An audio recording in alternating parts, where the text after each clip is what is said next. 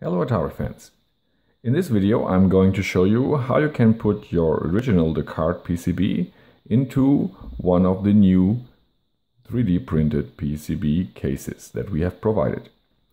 Uh, what you see on the left is the original The!Cart case. It was intentionally created to be very cheap because the card itself was rather expensive. So if you look at it, there is not much quality. This is not very stable and it also leads to problems when you put it into your Atari. And um, what you see in the middle was one of the first prototypes created by Sven from the ABBUC. Um, it was rather large. Uh, it's working and it's comfortable, but uh, it leads problems when you try to put it into some of the Atari models because it's uh, larger than the original cartridges were. And what you see on the right is the current version of the 3D printed model for the The!Cart shell. And um, yeah, what I'm going to show you now is how you can put the PCB from this one into that one.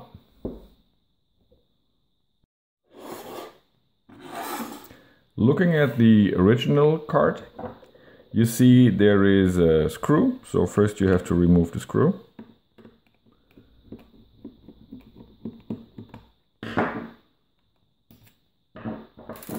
And then there is some tape around the two halves of the shell because the second screw isn't there.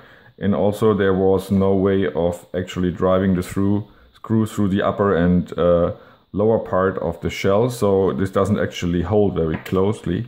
So what you have to do is you use a cutter to cut the tape.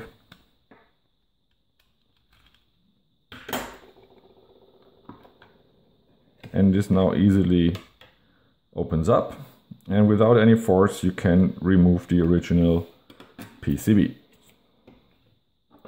Now you take the 3D printed case. You can take apart the upper and the lower part of it.